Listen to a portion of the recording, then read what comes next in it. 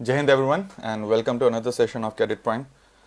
Um, so we were discussing about the historical aspect of the making of the constitution in the previous lectures and uh, finally India got independent okay it got its independence in 1947 मैंने हम लोगों ने ये भी discuss करा कि क्या वो सर्कमस्टेंसेस थे जिसमें भारत आज़ाद हुआ ठीक है अभी तक आपको एक डिफरेंट ओपिनियन अपना खुद का रखना ज़रूरी है देखो ये बात ध्यान रखो जब आपका वहाँ पर um, मैं अपने सिलेक्शन के एक्सपीरियंस से और जो मेरे स्टूडेंट्स को मैंने गाइड किया है and those who have got selected on the basis of that I would be guiding you ठीक है? तो एसएसबी में जैसे कि ग्रुप डिस्कशन है राइट जब ग्रुप डिस्कशन हो रहा है ठीक है? तो क्या होता है ना मच्छी मार्केट टाइप हो जाता है। और हर बच्चे को ऐसा लगता है कि बोलना ज़रूरी है राइट कि ज़्यादा बोलूँगा तो मेरे रिकमेंडेशन के चांसेस बढ़ेंगे। ये बिल्कुल भी सच नहीं है। ठीक है? आप क्या बोल रहे हो, वो ज़्यादा इंपॉर्टेंट है। ठीक है? तो most of the time what happens is जब एक टॉपिक दिया जाता है तो स्टूडेंट्स ना अपने पॉइंट्स को रिपीट करने लगते हैं। या तो वो अपना खुद का पॉइंट रिपीट करते हैं, या तो दूसरे ने जो पॉइंट बोला है, वो रिपीट करते हैं, क्योंकि वो सोच ही नहीं रहे कि बोलना क्या है। ठीक है? क्योंकि उसमें टाइम नहीं दिया जाता। ग्रुप डिस्कशन का एक टॉपिक देंगे और इमीडिएटली बोलेंगे स्टार्ट ठीक है? तो दो चीज़ें करनी हमारे लिए बहुत ज़रूरी है। एक तो अवर थॉट प्रोसेस जो है बहुत तेज होना चाहिए। जैसे ही टॉपिक दे, ठीक है? तो सबसे पहले आपको कोशिश करनी है कि आप स्टार्ट करें बोलना। क्योंकि वो बहुत आसान है। वो आसान इसलिए है कि पहली चीज़ तो अभी तक किसी और ने बोला नहीं है तो सारे पॉइंट्स ओपन है। कोई भी पॉइंट रिपीटेड नहीं हो सकता।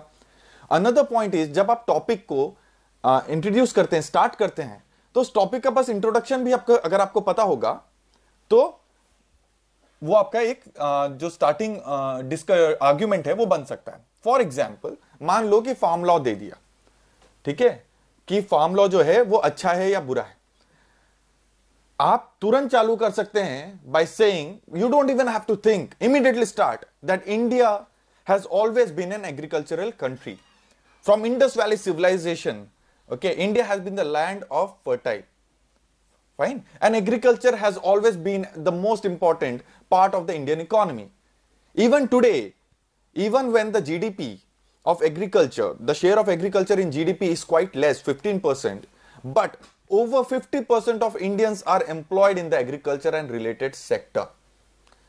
And because of this, the farm law is of vital importance. अभी तक आपने farm law के बारे में कुछ नहीं कहा आपने क्या क्या इंट्रोडक्शन दे दिया ठीक है? इसलिए, जब हम कल बात कर रहे थे पिछले क्लास में इंडिया के इंडिपेंडेंस के बारे में at that point of time we discussed not only कि how our freedom struggle how our freedom fighters how our forefathers were responsible for India getting independence उसके साथ साथ एक और एक चीज़ जो इसका मेजर कॉन्ट्रीब्यूशन था इंडिया के इंडिपेंडेंस में, वो वर्ल्ड वॉर टू था।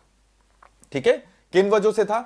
पहला रीजन ये था कि जो ब्रिटिश आर्मी थी, ठीक है? वो जो बैटल है आ, उसके वजह से बहुत ज़्यादा वेयर आउट हो चुकी थी ठीक है? इतने सालों से अराउंड छह साल से वो कंट्री वॉर में था सिक्स इयर्स ठीक है? लाखों उसके सिटीजन मर चुके थे। उसकी पूरी यंग जनरेशन ऑलमोस्ट खत्म हो गई थी। हर घर से बच्चा था जो मरा था ठीक है? तो वहाँ की जो पब्लिक ओपिनियन था वो बिल्कुल वॉर के अगेंस्ट या फिर इवन इंपीरियलिज्म के अगेंस्ट हो गया था। क्योंकि अगर इंडिया के फ्रीडम स्ट्रगल को आपको होल्ड करना पड़ता तो आपको आर्म फोर्सेस यूज़ करनी पड़ती ब्रिटेन को फिर से, क्योंकि इंडिया की जो मिलिट्री है, वो भी म्यूटनी करना चालू कर चुकी थी। एयरफोर्स म्यूटनी करना चालू कर दी थी नेवल रेटिंग ने म्यूटनी कर दी थी राइट मुंबई में it is the famous naval rating mutiny okay वो म्यूटनी नहीं I would that is the British terminology for it that is how it has been written but there what they did was they revolted against the british rule, okay? They revolted against the discrimination that they had to face the indians had to face because of their identity being an Indian in the military forces. तो पहला ये हो गया कि British arm forces थी। They were not ready public opinion बिल्कुल against था। अब उनके यूथ को, उनके बच्चों को बाहर भेजने के लिए अब। सेकेंड चीज़ ये थी कि because of that war Britain जो हमेशा से सोल सोल मतलब सिंगल सुपर पावर था वर्ल्ड का, वो वर्ल्ड पावर नहीं रह गया तो उसकी इकोनॉमी को बहुत डैमेज हुआ था। ठीक है? तो उसके बाद कौन से दो वर्ल्ड पावर्स बने? एक यूएसए बना और एक यूएसएसआर बना। एक डेमोक्रेटिक था आ, दूसरा आपका सोशलिस्ट था कम्युनिस्ट था ठीक है? तो ये दो सुपर पावर्स बन गए। और दोनों के दोनों सुपर पावर्स चाहते थे कि सभी कंट्रीज़ को फ्रीडम मिल जाए क्योंकि यूनाइटेड स्टेट्स एक कॉलोनियल पावर नहीं था। उसका थोड़ा बहुत इंफ्लुएंस फिलीपींस और पैसिफिक के आइलैंड्स में था। अदरवाइज़ वो काफ़ी लेट इंपेरियलिज्म में घुसा तब तक जो केक था वो बट चुका था। Right another thing is USSR USSR being a socialist communist country did not favour imperialism in any point because of the ideology of communism communism support नहीं करता था इंपेरियलिज्म को, ठीक है? कॉलोनाइजेशन को। इसलिए 1917 में जब रशियन रेवोल्यूशन हुआ, उसके बाद रशिया ने क्या करा? जिन जिन देश पे उसका इंपीरियल रूल था, उनको आज़ादी दे दी थी फाइन ये दो इंपॉर्टेंट वजह थी, जिसके वजह से इंडिया को इंडिपेंडेंस जो है वो फास्ट ट्रैक हुआ। एक और एक चीज़ हम यहाँ पर समझना चाहेंगे। जब क्लिमेंट एटली ने इंडिया का इंडिपेंडेंस डिक्लेयर किया था तो उन्होंने कहा था, इंडिया को जून 1948 में ब्रिटेन इंडिपेंडेंस देके निकल जाएगा। ठीक है? और यह बात उन्होंने कही थी जून में। जून 1947 में। और जहाँ वो एक साल दो महीने में छोड़ के जाने वाला था इंडिया को, क्योंकि एक पावर का ट्रांजिशन करना था, इतना बड़ा कंट्री था इतने साल से ब्रिटेन रूल कर रहा था तो एक स्मूथ ट्रांसफ़र करना था ताकि सिविल वॉर ना चालू हो जाए। ठीक है? इंडिया एक बहुत ही रेयर सिनेरियो है जहाँ पे इतना बड़ा देश, इतनी डाइवर्स कम्युनिटी को इंडिपेंडेंस मिली और कोई पॉलिटिकल स्ट्रगल नहीं हुआ। ठीक है? कोई सिविल वॉर नहीं हुआ। अफ़गानिस्तान आज तक स्टेबल इसलिए नहीं हो पाया क्योंकि वहाँ आज भी सिविल वॉर होता है। ठीक है? तालिबान उसका एक फैक्शन है। तो वॉर लॉर्ड्स होते हैं जो आपस में पावर स्ट्रगल करते रहते हैं और वो सेंचुरीज से, आज से नहीं, हमेशा से अफ़गानिस्तान एक पॉलिटिकल स्ट्रगल में रहा है। But India never had to face that India immediately had a stable strong government why because of the participation of the Indian National Congress in the freedom struggle India already had a pan India pan India मतलब all India political party India के पास थी, जो कि कांग्रेस थी। और उसका कोई कंपटीशन नहीं था। तो स्टेट्स में भी कांग्रेस थी सेंटर में भी कांग्रेस थी। ठीक है? ये ऑलमोस्ट 1970s के एंड तक यही सिनेरियो रहा। ठीक है? पहली बार कांग्रेस हारी 1978 में थी। राइट सो दिस हैपेंड तो अब सोचने की बात यह है कि जब देश को एक साल के बाद आज़ादी देनी थी तो ये दो महीने में क्यों चले गए? ठीक है? क्योंकि जब ब्रिटेन ने अपना इंटेंशन क्लियर किया कि वो भारत का विभाजन नहीं करना चाहता it doesn't want to divide India it is not in favour of creating Pakistan ठीक है? तो मुस्लिम लीग ने मेजर कॉम्युनल राइट स्टार्ट करवा दिए ठीक है? बहुत भयानक तरीके से ब्लडशेड चालू हुआ specially Bengal was very very badly hit by it ठीक है? तो when Bengal was very badly hit by it तो ब्रिटिश ने यह सोचा कि ये जो अभी एक जेनोसाइड होने वाला है, ठीक है? उसमें ब्रिटेन पार्टिसिपेट ना करे। ठीक है? मतलब ब्रिटेन के ऊपर हिस्टोरिकली वरना ब्लेम चला जाएगा कि ब्रिटिश रूल के अंदर में इतने लोग मरे। इतना कम्युनल वायलेंस हुआ। That was one of the reason Britain quick exit लेके निकल गया। ठीक है? और कांग्रेस रेडी भी नहीं थी। इनफैक्ट जब दंगे बहुत बढ़ गए थे, ठीक है? और पाकिस्तान की तब डिमांड एक्सेप्ट नहीं थी तो गांधी ने एक्चुअल में यह प्रपोजल दिया था कि आप अभी आज़ादी मत दो। अभी country needs a strong government जो कि ब्रिटिश गवर्नमेंट थी, ठीक है? तो दे सेड कि पहले let the country be stable अभी उनको यह डर था कि अगर अभी आपने अचानक से हमको आज़ादी दे दी तो भारत के टुकड़े हो जाएँगे। ठीक है? तो वो चीज़ उस हद तक नहीं बिगड़ी। ठीक है? And it was great credit goes to Sardar Vallabh Bhai Patel okay being the home minister and the minister of affair for the states reorganisation okay he had amazing diplomatic skills the carrot and stick policy सबसे पहले प्यार से मनाते थे और प्यार से नहीं मानते थे तो वो फोर्स यूज़ करते थे। ठीक है? And he was a very very strong leader that is why very rightly has been termed the iron man of India जब 1947 हो गया 1946 में ही दिसंबर में ही okay in fact ninth December 1946 को इंडिया की कॉन्स्टिट्यूएंट असेंबली को स्थापित कर दिया गया कि भारत का संविधान बनाना है, ठीक है? और जब राइट्स बहुत ज़्यादा हुए होने लग गए थे तो ये फाइनली एक्सेप्ट कर लिया गया कि पाकिस्तान एक अलग कंट्री बनेगा ओके और मुस्लिम मेजोरिटी रीजन्स जो रहेंगे, वो पाकिस्तान का पार्ट रहेंगे। बांग्ला, बंगाल का उसी बेसिस पे विभाजन हुआ। And Punjab got bifurcated because of that and that is what resulted in the instability ठीक है? आज भी आप अगर देखोगे रिसेंटली अभी ये बहुत ज़्यादा फार्म लॉ के प्रोटेस्ट के टाइम पे बहुत ज़्यादा ये चीज़ सुनने में आ रही है। The instability of Punjab the Khalistani movement and rest of the things the reason क्या है?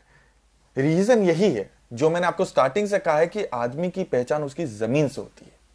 ज़मीन से उसका पहनावा होता है, उसकी भाषा होती है।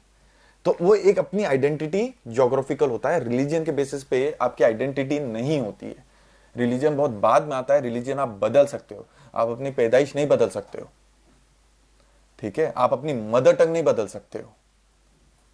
Fine your men eating habits you cannot change that South Indian को आप नॉर्थ इंडिया में ले आओ या आप अमेरिका भेज दो या आपको उसको यूरोप भेज दो, उसको इडली चाहिए, उसको सांबर चाहिए, उसको रसम चाहिए he not be comfortable without it कितने भी साल रख दो he'll not get used to it ठीक है? तो जब आपने बंगाल को तोड़ा तो आपने बंगाल को नहीं, बंगालियों को तोड़ा।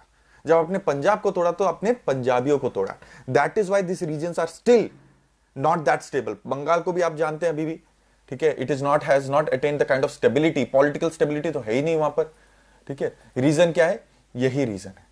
बंगाल इंडिया का वो पार्ट ठीक है, जो कि सबसे ज़्यादा इंटेलेक्चुअली केपेबल था, जो इकोनॉमिकली सबसे स्ट्रांग था, जिसके लिए कहा जाता था कि Bengal is India India is Bengal आज बंगाल का प्रेजेंट सिनेरियो में आप स्टेटस देख लो।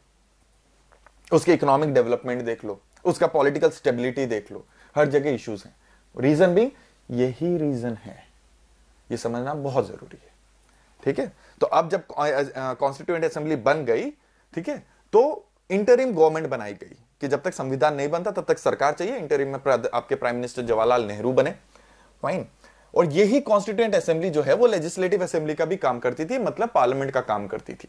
क्योंकि कानून बनाना है भारत के लिए। जब तक कॉन्स्टिट्यूशन नहीं बनता, तब तक भी। ठीक है? तो जब जीवी मावलंकर उसको हेड करते थे तो वो आपकी पार्लियामेंट की तरह काम कर रही है। जब आपके डॉक्टर राजेंद्र प्रसाद उसको प्रिसीड करते थे then it was working as a constituent assembly तब वो संविधान बनाती थी।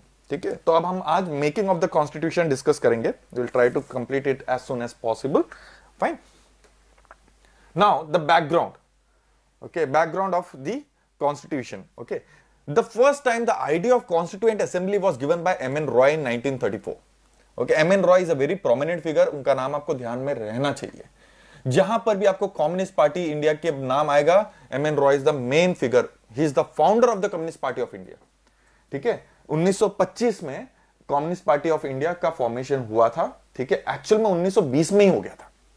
लेकिन उस टाइम पे कम्युनिज्म के अगेंस्ट में जो इतना स्ट्रांग एक व्यू था वेस्टर्न वर्ल्ड का यूरोपियन वर्ल्ड का, उस वजह से इसको पहले सीक्रेट रखा गया था बिकॉज़ कम्युनिस्ट को टारगेट किया जाता था। 1920 में ही ताशकेंट में जो यूएसएसआर का पार्ट हुआ करता था तब कम्युनिस्ट पार्टी ऑफ़ इंडिया का फॉर्मेशन हो गया था। 1925 में वो पब्लिकली एक्सेप्ट किया गया कि हाँ कम्युनिस्ट पार्टी ऑफ़ इंडिया है। किसने फॉर्म किया था? M N Roy form it fine In 1935, the Indian National Congress for the first time officially demanded a constituent assembly. ठीक है? आइडिया 1934 में एम एन एम रॉय ने दे दिया था। 1935 में कांग्रेस ने, इंडियन नेशनल कांग्रेस ने, ठीक है, ये डिमांड ये डिमांड किया था कि कॉन्स्टिट्यूंट असेंबली बनाया जाए ताकि भारत का संविधान वो बनाए। The demand was initially accepted in principle by the British government in what is known as the August offer of 1940 ठीक है, ये ध्यान रखना। ऑगस्ट ऑफ़र कब था? 1940 क्योंकि वर्ल्ड वॉर जैसे स्टार्ट हुआ, और ये वाला वर्ल्ड वॉर वन जैसा नहीं था, ये बड़े स्केल पे था। वर्ल्ड वॉर वन भी था, लेकिन वर्ल्ड वॉर वन तब भी यूरोप तक लोकलाइज्ड था। वर्ल्ड वॉर टू में यूनाइटेड स्टेट्स डायरेक्टली वॉर में एंटर कर गया था। यूएसएसआर डायरेक्टली वॉर में एंटर था। एशिया से जापान डायरेक्टली वॉर में एंटर था।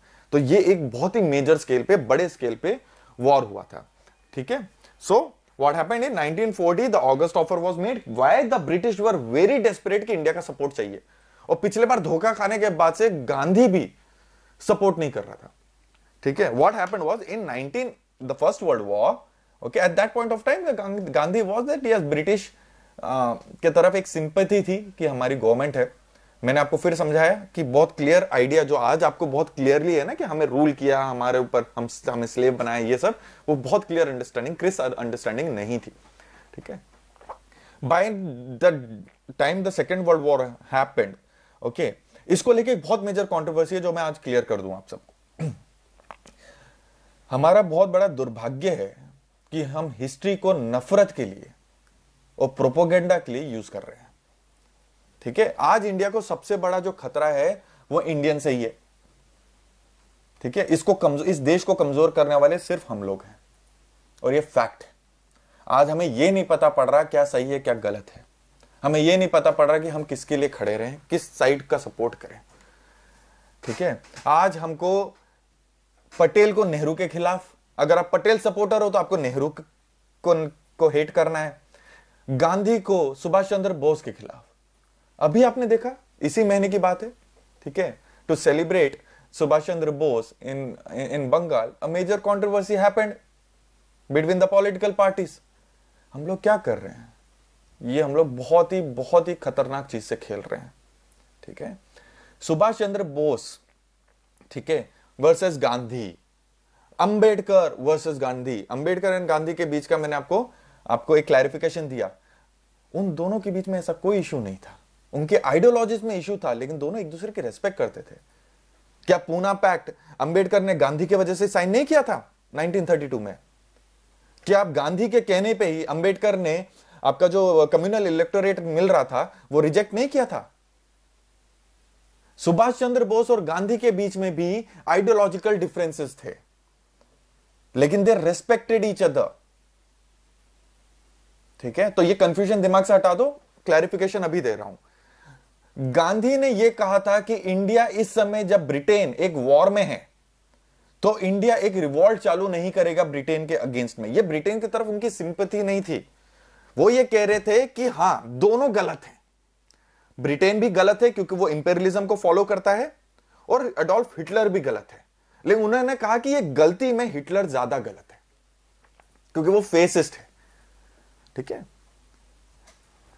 In, Britain might be responsible for lot many deaths in India but they did not disseminate people in India they did not create a genocide in India the way Hitler did against the Jewish people साठ लाख लोग उसने मार दिए थे। मरे नहीं थे। एक होता है फमाइन क्रिएट हो गया, बाकी चीज़ें हो गई, उसकी वजह से। नहीं। कॉन्सेंट्रेशन कैंप्स बनाए जाते थे। वहाँ लोगों को अलग करा जाता था। जो लोग काम करने लायक हैं, उन लोगों को काम पे डाला जाता था एज स्लेव्स औरतों को, बच्चों को, जो बीमार हैं, जो बुज़ुर्ग हैं, उन लोगों को कॉन्सेंट्रेशन कैंप्स में एक आपका डेथ चैम्बर्स होते थे। ठीक है, जहाँ पे पॉइजन करके शॉवर के लिए डाला जाता था, उन लोगों को बोला जाता था शॉवर लेना है। और अंदर गैस और केमिकल रिलीज़ करके उनको बल्क में मारे। साठ लाख लोग इस तरीके से मारे थे। गोलियों से मारे थे। ठीक है? तो there was a difference which Gandhi set there is a difference दोनों गलत।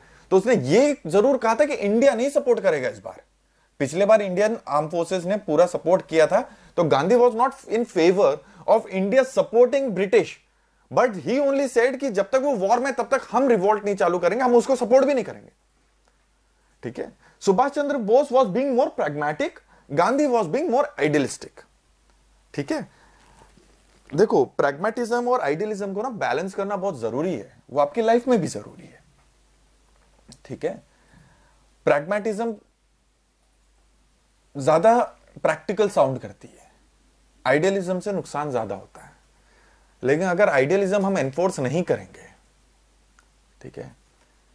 तो ह्यूमंस एंड एनिमल्स में कोई डिफरेंस नहीं रहेगा। आइडियलिज्म किस बेसिस पे एनफोर्स होता है? एम्पैथी के बेसिस पे। सहानुभूति के बेसिस पे। अगर वही खत्म कर दोगे तो इंसान कहाँ रहेगा ठीक है? एक गलत दुनिया में अगर आप सही बनने की कोशिश कर रहे हो तो आपको हमेशा गलत हिस्ट्री गलत बना देती है कि बेवकूफ़ था। नेहरू पे भी वो चार्जेस लगे ही कि वो बहुत आइडियलिस्टिक था, उस वजह से बहुत नुकसान हुआ। ठीक है?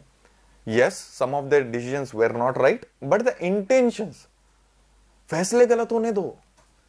मुझे ऐसी सरकार नहीं चाहिए जो हमेशा सही फैसले ले। मुझे ऐसी सरकार चाहिए जिसकी नीयत हमेशा सही फैसलों की तरफ़ हो। वो गलतियाँ हो सकती हैं। तो हमेशा नीयत पे जाइए। अगर कोई अच्छा काम कर रहा है लेकिन उसकी नीयत गलत है तो वो अच्छा काम का कोई मायने नहीं है। ठीक है? अब वो सबसे खतरनाक चीज़ है। तो when this happened between Gandhi and Subhash Chandra Bose Subhash Chandra Bose ने बोला कि दोनों में कोई डिफरेंस नहीं है। दोनों आपस में इंपीरियल पावर बनने के लिए लड़ रहे हैं। दोनों हमारे जैसे देशों पे कब्जा बनाने के लिए ही लड़ रहे हैं आपस में। दोनों इंसानियत के लिए नहीं लड़ रहे हैं। तो ही सेड कि ये एक अच्छा मौका है। ब्रिटेन कमज़ोर है, इसका फ़ायदा उठाओ और इंडिया को इंडिपेंडेंस दिलाते हैं। दोनों अपनी जगह एकदम सही थे। मेरा इंक्लिनेशन थोड़ा सा ज़्यादा सुभाष चंद्र बोस की तरफ़ है। ठीक है? क्योंकि मेरे, मैं इस मामले में, जब मेरे देश की बात है, जब मेरे लोगों की बात है तो मैं नैतिकता के दम पे फैसले नहीं ले सकता। जब मेरा देश जंजीरों में है, जब मैं आज़ाद नहीं हूँ तो मैं नैतिकता की बात नहीं कर सकता, क्योंकि सबसे गलत तो मेरे साथ ही हो रहा है। ठीक है? जब तक आप ताकतवर नहीं हो, तब तक आपकी नैतिकता को बेवकूफ़ी का नाम दिया जाता है। ये ध्यान रखना। पहले आपको ताकतवर बनना है। इसलिए आपको सिर्फ़ डेवलपमेंट और ग्रोथ की बात नहीं करनी आपको वैल्यू बेस्ड डेवलपमेंट की बात करनी है। आपको अपने कल्चर को अफोर्ड करना है। आपने तो कल्चर को ही गाली बना दिया आजकल। And social media and social outlets have become a major part of it fine So this was the difference between the two, and Subhash Chandra Bose resigned. He was preceding the Congress session in 1939. He was the president of the Congress. उन्होंने बोला कि India एक reward चालू करे, एक direct Britain को challenge करे और ओवरथ्रो कर दे okay Gandhi did not support it तो उन्होंने रिजाइन कर दिया और उसके बाद वो जम उन्होंने बोला, मेरे दुश्मन का दुश्मन मेरा दोस्त he first went to Germany to meet Hitler कि जर्मनी का सपोर्ट लें और इंडिया को आज़ाद करवाएँ। तो तब तक वहाँ पे काफ़ी गड़बड़ हो गई थी जर्मनी के साथ। तो उसके बाद वो वहाँ से निकल गए। There is a very exciting tale about it okay the submarine के थ्रू उनको ट्रांसफ़र किया गया था। And then he went to Japan to get the support of the Japanese army और जो इंडिया के प्रिजनर ऑफ़ वॉर थे, क्योंकि बर्मा से लेकर सिंगापुर जहाँ पर भी ब्रिटिश लड़ रही थी जापान से तो वहाँ पे इंडियन फोर्सेस ज़्यादा थी। तो वो जहाँ पर भी हारते जा रहे थे, वहाँ पे इंडिया के प्रिजनर ऑफ़ वॉर ज़्यादा थे।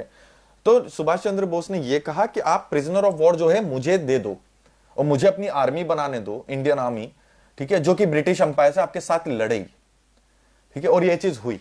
ठीक है, वहीं पे इंडियन नेशनल आर्मी का आपका फॉर्मेशन हुआ 1942 में। जब इंडियन नेशनल आर्मी का ये जो डिबेट है ना कि गांधी और सुभाष चंद्र बोस के में प्रॉब्लम थी, इस बात को इसी लाइन से खत्म कर देते हैं कि सबसे पहले सुभाष चंद्र बोस ने गांधी को मैसेज किया था। सबसे पहले रेडियो पे उन्होंने उन्हीं से ब्लेसिंग्स ली थी कि मैं डायरेक्ट वॉर स्टार्ट करने जा रहा हूँ। अगर रेस्पेक्ट नहीं होता तो ये चीज़ नहीं कही जाती। ठीक है? Nehru and Sardar Patel were more like very close friends अगर बहुतों को आपको ये बात नहीं पता होगी कि एक्चुअल में Sardar Patel was suppose to be the prime minister Congress working committee जो थी, उसने सरदार पटेल को वोट दिया था, नेहरू को वोट नहीं मिले थे। आई थिंक नेहरू को I might be wrong but Nehru को सिर्फ़ दो वोट मिले थे। Okay but yes again here Gandhi wanted Nehru to be the prime minister ठीक है? और सरदार पटेल में अगर प्रॉब्लम होती और सरदार पटेल मना कर देते कि नहीं, प्रधानमंत्री तो मैं ही बनूँगा। तो लीगली उनको अपोज नहीं किया जा सकता था वही प्रधानमंत्री बनते। हो सकता है यस हिस्टोरिकली इंडिया का बहुत चीज़ें डिफरेंट होती। कश्मीर इशू होता ही नहीं। लेकिन यह भी हो सकता है कि साउथ इंडिया सेपरेटिस्ट मूवमेंट चालू कर देता। क्यों? Nehru war was acceptable to all that was the reason he was asked to be the prime minister Sardar Patel was not a very typical politician he had was a great leader he had many qualities but he was not being very politically influential Nehru का orator skill जो बोलने की speech बोलने की थी वो बहुत अच्छी थी तो he was able to connect with people so he was acceptable to entire India and that is what at that point of time leader was needed तो ये इंटेंशन था, फिर से नियत की बात। ये नियत, इस नियत से उनको बोला गया था कि आप अभी प्रधानमंत्री बनो। क्योंकि भारत का टूट, टूटने के डर थे। तो जोड़ना था, लोगों से जुड़ना था। ऐसा प्रधानमंत्री चाहिए था जो हर कोने को एक्सेप्टेबल हो। Fine okay okay. Then after that the Indian national army was formed Azad Hind Fauj का कॉन्सेप्ट बना जय हिंद जो आज आप अगर इंडियन मिलिट्री में आप जाना चाहते हो I started my lecture by saying Jai Hind okay तो जय हिंद का नारा उस टाइम पे आया. ठीक है? जय हिंद का मतलब क्या है? सल्यूट जब हम करते हैं, उसका मतलब क्या है? ये सारी चीज़ें भी हम लोग डिस्कस करेंगे. ठीक है? जय हिंद का मतलब ये होता है कि आप पूरी ईमानदारी के साथ, अपने साथ, ईमानदारी खुद के साथ ठीक है? अपनी पूरी कैपेबिलिटीज के साथ। अपने आप को एक्सप्लोर करेंगे और अपना मैक्सिमम यूटिलाइजेशन करेंगे for the benefit of the nation that is what Jai Hind means it is not just Jai Hindustan वाला Jai Hind it has a deeper meaning salute के भी मीनिंग होते हैं। ठीक है? तो वो सिंबॉलिक चीज़ें, ये सब रिसर्च करना बहुत ज़रूरी है। ठीक है? It inspires you fine okay so then after that what happened आपका ऑगस्ट ऑफ़र आया 1940 में, फिर क्रिप्स मिशन आया 1942 में, फिर कैबिनेट मिशन आया 1946 में, ठीक है? तो ये चीज़ें थोड़ी क्रोनोलॉजी ध्यान में रखना। In 1942 sir Stafford Cripps Cripps mission एक बंदे के नाम पर है Stafford Cripps a member of the cabinet British cabinet के एक मेंबर थे, ठीक है?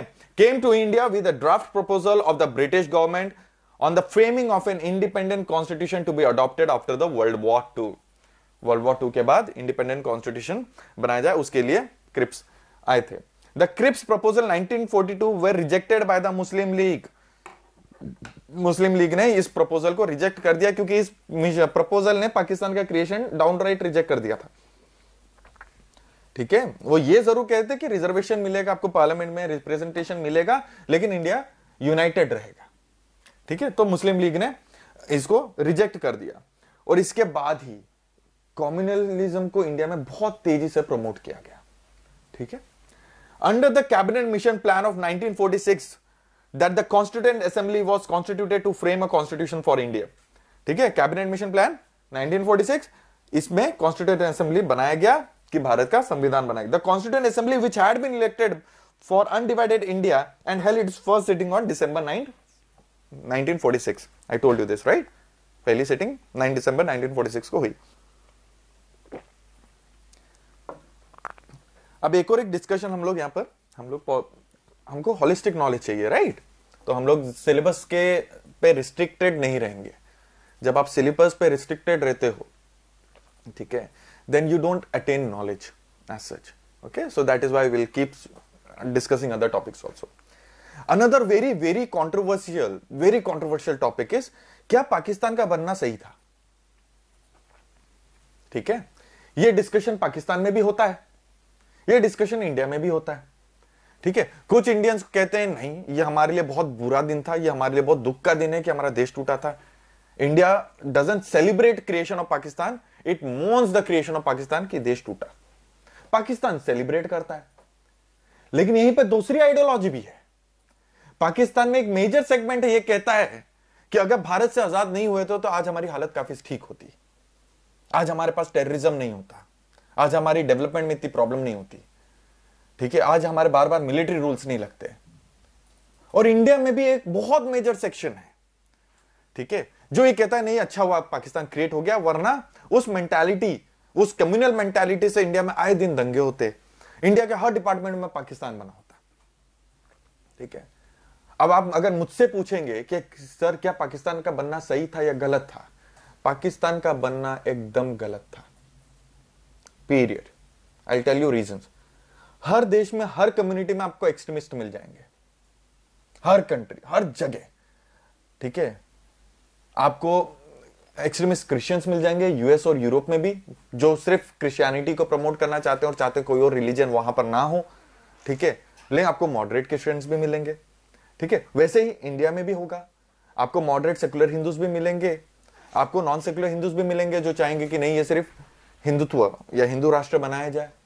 और आपको ऐसे ही मुस्लिम्स भी मिलेंगे। ये हर कम्युनिटी में होता है। ठीक है? इंपॉर्टेंट चीज़ क्या है? कि जो ये एक्सट्रीमिस्ट आइडियोलॉजी वाले लोग हैं, इनको कभी रेलेवेंट नहीं बनने देना है। ठीक है? आपको मेक श्योर sure करना है कि जो भी एक्सट्रीमिस्ट मेंटालिटी का है, उसको रेलेवेंट नहीं बनने देना है। आज यूएसए आज भी एक सेक्युलर कंट्री है। डोनाल्ड ट्रंप को उसने डिफीट करके वापस बाइडन को लेकर आया है।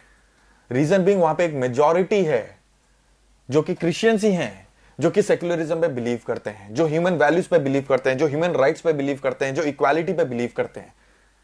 और इस मामले में वर्ल्ड लीडर है इंडिया इंडिया एक लोता देश है जिसने कभी भी किसी भी रिलीजियस माइनॉरिटी को प्रोसिक्यूट नहीं किया है। किसी भी रिलीजियस माइनॉरिटी को कभी भी प्रोसिक्यूट नहीं किया है। पारसी कहाँ के हैं? पर्शिया के हैं।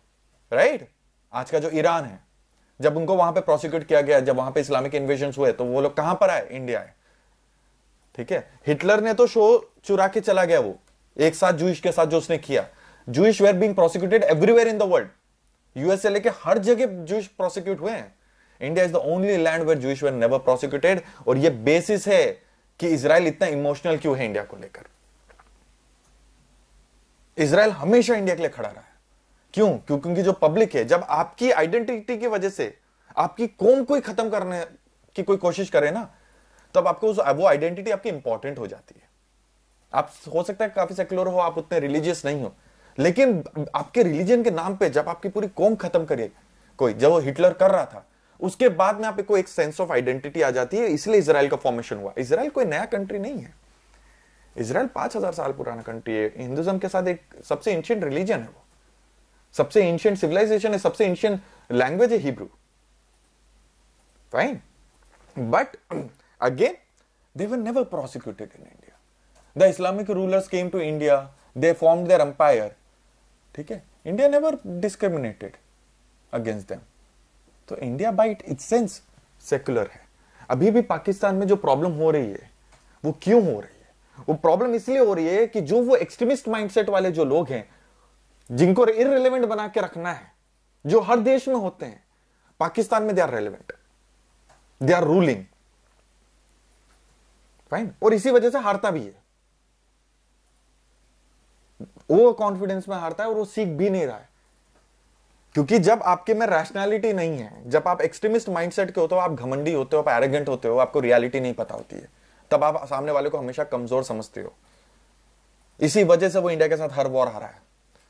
कारगिल, वो इसलिए ही सिर्फ़ हारा था, क्योंकि जब उसके जनरल उसके चीफ से not Parvez Musharraf the other person when एक ऑफिसर ने उससे पूछा था कि, सर, आपने ये ऑपरेशन प्लान तो कर लिया, आपने नॉर्दर्न लाइट इन्फेंट्री को पाकिस्तान में आपने इंडिया के जो पीक्स है, उस पर कैप्चर तो कर दिया, लेकिन जब इंडिया रिस्पॉन्ड करेगा तो उसका क्या प्लान है? और उस बंदे का जवाब यह था, अरे, काफिरों से क्या डरना, ये आर्मी का उनका एक जनरल रैंक का बंदा है। That is why they lost they did not understand the idea of India because उनको वो चीज़ समझ में नहीं आती है। उस चीज़ से उन्हें डर लगता है। उसी से अलग होने के लिए उन्होंने पाकिस्तान बनाया था। और आज तीस साल में तो टूट गया दो हिस्सों में। अभी भी स्टेबल नहीं है। बलूचिस्तान भी उसका अलग होगा, उसका सिंध भी अलग होगा, उसका कराची भी अलग होगा। सब अलग रहेगा। Reason being why until unless जो वहाँ पे एक एक पोर्शन है पॉपुलेशन का, जो मॉडरेट है। ठीक है? और है, पाकिस्तान में भी वो पॉपुलेशन है। Okay, it's not like the way you see pakistan, no, they have beautiful people also, but they are not becoming relevant. वहाँ जर्नलिस्ट जो सही क्वेश्चन करता है, या चैलेंज करता है, उनके अगेंस्ट उनको गायब कर दिया जाता है। ठीक है? तो जो मिलिट्री होल्ड है वहाँ पे, वो इतनी ज़्यादा है कि जो एक्चुअल में पाकिस्तान के अच्छे लीडर्स बन सकते हैं, वो लोग कभी भी डोमेन में आ ही नहीं पाते। मिलिट्री उन्हें आने ही नहीं देती है। क्योंकि जिस दिन उसने आइडिया एक्सेप्ट कर लिया, उस दिन मिलिट्री का रोल खत्म हो जाएगा वहाँ पर। ठीक है? और पाकिस्तान एक्चुअली मिलिट्री ओन करती है पूरा। Fine so this is what happened अब क्यों गलत है पाकिस्तान?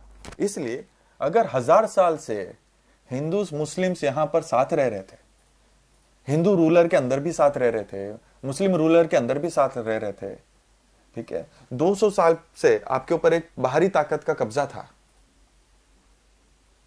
15 अगस्त को इंडिया आज़ाद हुआ 14 अगस्त को पाकिस्तान बन गया। ठीक है? किस बेसिस पे बना कि मुस्लिम लीग ने यह कहा कि इस देश के अंदर दो देश है? Sorry right the two nation theory that in Hindus and Muslim cannot live together in one country history इसको साफ़ साफ़ नकारती है कि आप हज़ार साल से तो साथ ही रह रहे हो। आप बाहरी रूलर्स के अंडर में भी साथ रहे हो। और मान लो कि यह बात सच भी है तो अपनी सरकार के अंदर कुछ साल रह के तो देखो। कोई भी अगर ये लॉजिक मेरा डिफाई करते ओके दस साल रखते 1947 था 1957 तक का रूल डाल देते कि 1957 तक हम लोग देखते हैं कि कैसे इंडिया रूल करता है। 1957 में हम वोट करके डिसाइड करेंगे हमको अलग होना है नहीं होना आप तो एक दिन भी आज़ाद इंडिया के अंडर में नहीं रहे साथ में। एक दिन पहले आपने अलग देश बना लिया। क्यों? क्योंकि आपको पता था आप गलत हो। आपको पता था कंट्री सस्टेन कर लेगा। ठीक है? जो प्रॉब्लम्स होती है कंट्री में वो हर जगह होती है। यूएस में ब्लैक एंड व्हाइट का प्रॉब्लम है रेसिज्म का आज भी प्रॉब्लम है। आपने इसी साल देखा है ठीक है कि क्या कि, किस हद तक वहाँ पे वायलेंस हुई थी। कम्युनल राइट्स होते हैं। क्योंकि हम लोग इमोशनल लोग हैं। लेकिन हमारी फीलिंग परमानेंट नहीं होती है। हमारी फीलिंग्स चेंज होती है। Fine this is the same land that have loved Abdul Kalam like anything this is the same land with the same name Abdul Kalam become becoming the first education minister of India जिसने India की education policies decide करी थी। Cabinet minister उस time पे जबकि उस धर्म के नाम पे भारत को तोड़ा गया था। क्या लोगों ने एक्सेप्ट नहीं किया? बिल्कुल किया। Okay, so this country has great great capabilities of greatness. है and this is up to our generation to make sure that this doesn't go away fine तो ये चीज़ हमने देख ली, भारत का संविधान बनाने के लिए कॉन्स्टिट्यूएंट असेंबली बना ली गई। अब उसके बाद क्या गया? ठीक है तो प्रोविंशियल जो लेजिस्लेटिव असेंबलीज थी ना, कि स्टेट की असेंबलीज थी, उन्होंने इलेक्ट करके डायरेक्ट इलेक्शन नहीं था इनडायरेक्ट इलेक्शन था, उन्होंने कॉन्स्टिट्यूएंट असेंबली में कौन बैठेगा? उनको इलेक्ट किया। ये ध्यान रखना कॉन्स्टिट्यूएंट असेंबली सिर्फ़ इलेक्टेड नहीं थी। नॉमिनेटेड भी थी। प्रिंसली स्टेट्स दो थे, उनकी भी सीट थी, वो नॉमिनेट कर देते थे। ठीक है? तो it was both an elected and nominated assembly on December thirteen 1946 Jawaharlal Nehru move the historic objective resolution ठीक है? नाइन्थ दिसंबर को पहली बार कॉन्स्टिट्यूएंट असेंबली बैठी। तेरह दिसंबर को नेहरू ने ऑब्जेक्टिव रेजोल्यूशन डिक्लेयर किया। What is objective resolution objective नियत इंटेंशन हमारा एम क्या है इस संविधान से? ये उन्होंने डिक्लेयर करा था कि हम भारत का संविधान में क्या बनाना चाहते हैं, क्या अचीव करना चाहते हैं। अब उसके हिसाब से अपने आर्टिकल्स बनाने चालू करेंगे ये हमारा मेन मोटिव है। इंडिया को सेक्युलर डाइवर्स रिपब्लिक डेमोक्रेटिक बनाना है। तब उसके लिए आप आर्टिकल्स बनाएँगे इक्वालिटी अटेन करनी है। भैया आर्टिकल 17 डालो अनटचेबिलिटी को बैन करो बिल्कुल। ठीक है नॉन वेलेबल उसके अगेंस्ट में आप क्राइम रखो उसको। फंडामेंटल राइट्स में डालो उसको। ठीक है? रिलीजन उस टाइम पे जो मुस्लिम्स इंडिया में रह गए थे, उन लोगों को काफ़ी इनसिक्योरिटी थी डर भी था कि हमसे बदला ना लिया जाए पाकिस्तान का। ये डर दोनों तरफ़, दोनों कम्युनिटीज को था। ठीक है? इस चीज़ को भी हम डिटेल में समझेंगे, तब आपको सीए समझ में आएगा। जो इतना इशू बना था एनपीआर और सीए को लेकर so we need to understand that thing CA का कॉन्सेप्ट तो 1950 में ही आ गया था। सबसे पहले तो उसकी अंडरस्टैंडिंग गांधी ने दी थी। ठीक है? आपको साठ, सत्तर साल लग गए एक दूसरे के देख, क्योंकि ये देखो, ये ध्यान रखो कि वो आप ही का देश था, वो आप ही के लोग थे। ठीक है? सत्तर साल में पाँच हज़ार साल पुरानी सिविलाइजेशन आप खत्म नहीं कर सकते। बहुत छोटा टाइम है। ठीक है? तो ऑब्जेक्टिव रेजोल्यूशन जो है, ये नेहरू ने डिक्लेयर करा कि this is going to be the objective of the Indian constitution and this very objective resolution later on became the preamble. Preamble जो था constitution का, वो इसी से इंस्पायर हुआ। ठीक है? ये इन्होंने सबसे पहले बता दिया, उसके बाद पूरा संविधान बना, और संविधान बनने के बाद प्रियम्बल को एक्सेप्ट करके सबसे पहले डाला गया कि ये कॉन्स्टिट्यूशन की सोल है, कि एक समरी में, ठीक है, पूरे संविधान को लिखना है। ठीक है? एक पैराग्राफ में संविधान को डिक्लेयर करना है तो क्या होगा? वो प्रियम्बल है। ठीक है, जो एक बार में बता देगा कि हम क्या इसमें अचीव करना चाहते हैं इतनी मोटी किताब में जो दुनिया की सबसे बड़ी कॉन्स्टिट्यूशन बुक है। Ratified India membership of the commonwealth in May 1949 commonwealth में इंडिया ने यही कॉन्स्टिट्यूंट असेंबली ने रेटिफाई करा। क्यों रेटिफाई किया? यह भी क्वेश्चन है। यह भी डिस्कशन होता है कि क्यों इंडिया कॉमनवेल्थ का पार्ट बना? क्योंकि ये तो कांस्टेंट रिमाइंडर है ना कि हम गुलाम थे, ब्रिटेन के। ये तो ब्रिटेन ने जिन जिन कंट्रीज़ पर रूल किया था, उन सबको मिलके ये कॉमनवेल्थ बनाया था। तो इंडिया को तो बिल्कुल रिजेक्ट कर देना चाहिए था। नहीं। आपको प्रैग्मेटिक रहना है। आपको अपना फ़ायदा देखना है, देश हित देखना है। कॉमनवेल्थ एक बहुत बड़ी कम्युनिटी बनने वाली है और आज भी बहुत बड़ी कम्युनिटी है। ठीक है? तो एक फोरम मिल गया है इंडिया को, जहाँ पे वो पार्टिसिपेट कर सकता है। बिल्कुल एज ए सॉवरिन नेशन उसमें ऑस्ट्रेलिया भी है, उसमें कनाडा भी है कॉमनवेल्थ गेम्स में आप जितने कंट्रीज़ देख रहे हैं, सारे के सारों पे ब्रिटिश रूल था कभी ना कभी। ठीक है? इतना बड़ा उसका एम्पायर था कि बोला जाता था ना the sun never sets on the British empire it was literally क्योंकि हर समय ब्रिटिश एम्पायर के ऊपर कहीं ना कहीं सूरज होगा। अगर इधर पे रात हो रही है तो भैया कहीं ना कहीं कोने में दिन हो रहा है, जहाँ पर भी अभी ब्रिटिश रूल ही है। This is what it meant actually okay So it ratified the membership of the Commonwealth uh, in May 1949. National flag को जुलाई 22 1947 ये कुछ फैक्चुअल चीज़ें हैं ठीक है जो आप ध्यान रख सकते हो। को अडॉप्ट किया गया it was design by Pingali Venkaiah he was a person from Andhra Pradesh okay adopted the national song on January 24th ये ठीक है uh, बाकी चीज़ें जनवरी में ही करी गई 1950 में ठीक है। National song national anthem and Rajendra Prasad को प्रेसिडेंट ऑफ़ इंडिया डिक्लेयर किया गया। यही वो दिन भी था जिस दिन कॉन्स्टिट्यूंट असेंबली ने अपना आखिरी बार बैठी थी। उसके दो दिन बाद तो आपका रिपब्लिक डे हो गया कॉन्स्टिट्यूशन को भारत को सौंप दिया गया कि अब ये संविधान आपका है। ठीक है that is why you celebrate the republic day because this is the day India became a republic republic मतलब इंडिया ने वो संविधान बनाया है जो अपनी ताकत लोगों को देता है, अपनी आवाम को देता है। ठीक है? बहुत सारी ऐसी चीज़ें हैं ये बात प्लीज़ मैं हम बहुत सारी चीज़ें थोड़ा इमोशनल पॉइंट ऑफ़ व्यू से डिस्कस करेंगे। हमारा क्रिटिकल होना बहुत ज़रूरी है, लेकिन हम इस कंट्री को बहुत ज़्यादा ग्रांटेड ले लेते हैं कई बार। ठीक है? कई बार हम बोलते हैं, यार, हर चीज़ में कमी है, हर चीज़ खराब है, ठीक है? इस देश का कुछ नहीं हो सकता, वगैरह वगैरह। इस देश ने बहुत कुछ ऐसा कर लिया जो दुनिया सोच भी नहीं सकती थी। आप ये प्लीज़ ध्यान रखिए डेमोक्रेसी सबके लिए नहीं थी, पहली चीज़। डेमोक्रेसी एक डेवलप्ड कंट्री के लिए हुआ करती थी, जहाँ पे लोग पढ़े लिखे हों ताकि वो फैसला लेने के लायक हों कि कौन उन्हें रूल करेगा। पॉइंट वन सेकेंड पॉइंट जितने भी वेस्टर्न कंट्रीज़ में भी डेमोक्रेसी थी, वहाँ पे अडल्ट फ्रेंचाइज नहीं था। मतलब कि क्या? सभी लोगों को, जैसे इंडिया में आज आप अगर 18 साल से बड़े हो, कोई फ़र्क नहीं पड़ता तुम किस धर्म के हो, किस जात के हो, क्या तुम्हारा इकोनॉमिक स्टेटस है, गरीब हो, अमीर हो, जो भी हो, काले हो, गोरे हो, तुमको वोटिंग राइट है। ये डेमोक्रेसी में नहीं होता था। डेमोक्रेसी में लिमिटेड फ्रेंचाइज होती थी। एक क्राइटेरिया होता था कि जो ये क्राइटेरिया पूरा करेगा, उसी को वोटिंग राइट मिलेंगे। अरे वेस्टर्न के कई जो आज बहुत डेवलप्ड कंट्रीज़ और डेंगे मारते हैं, ठीक है, उन्होंने तो वुमेन को वोटिंग राइट्स नहीं दे रखा था।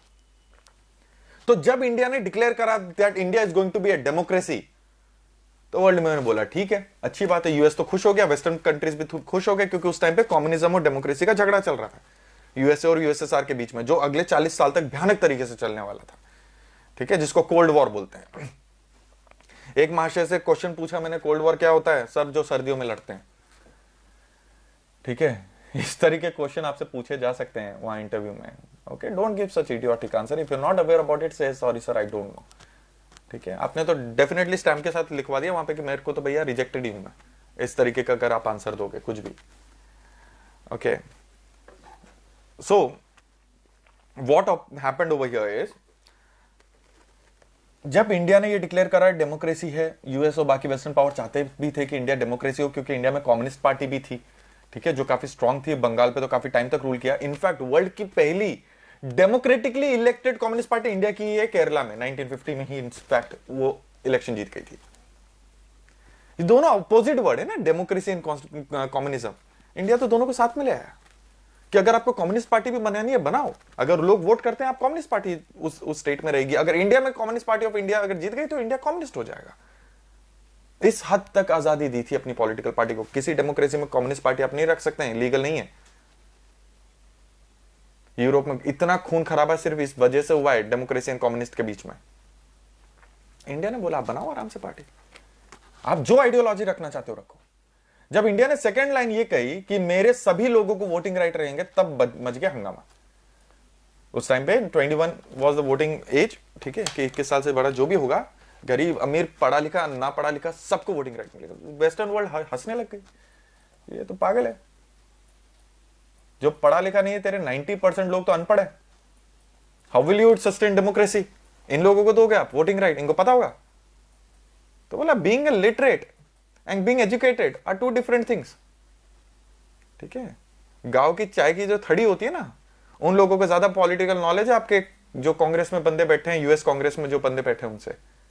About understanding about their locality about their village about their region India has always be knowledge intrinsic society उन्होंने बोला, भैया, काम करेगा नहीं, ये तो टूटेगा देश। गारंटी पैसे लग गए थे।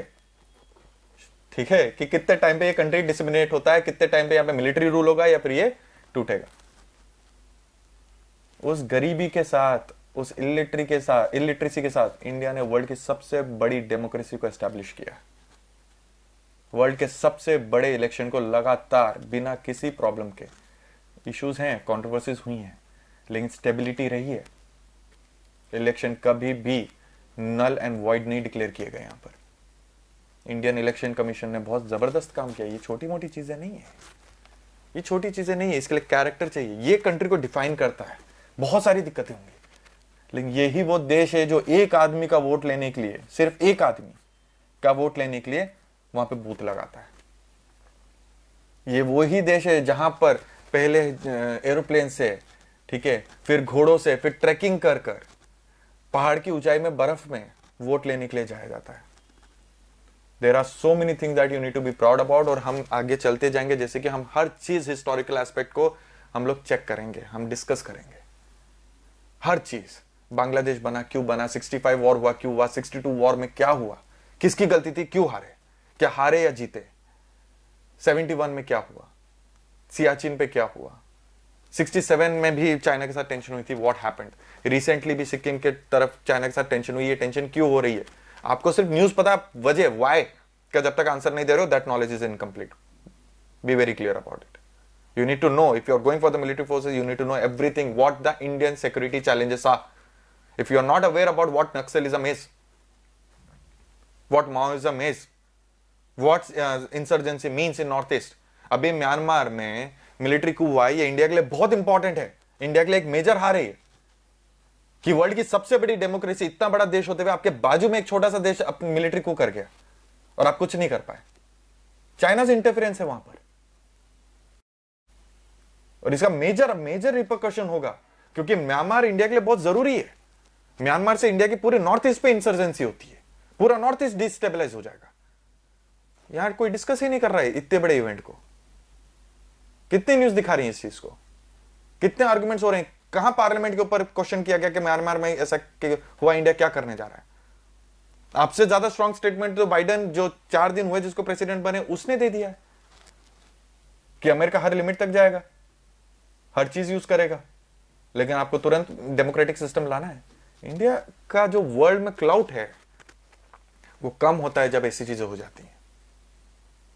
फाइन ओके तो this is what happened now next thing the salient, salient features of the Indian constitution. Okay, what we have to discuss is originally our constitution contained 395 articles divided into 22 parts and its schedule. This is important.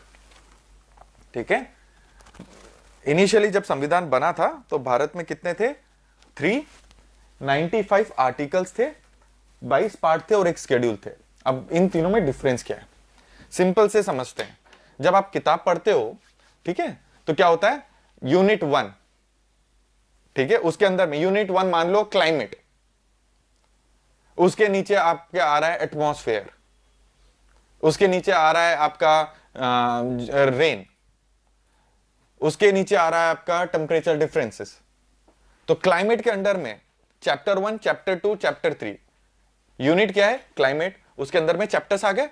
उसी तरीके से जो ये part है, ये हो गया आपका यूनिट मोटा मोटा सा. जैसे पार्ट फाइव द यूनियन मतलब केंद्र।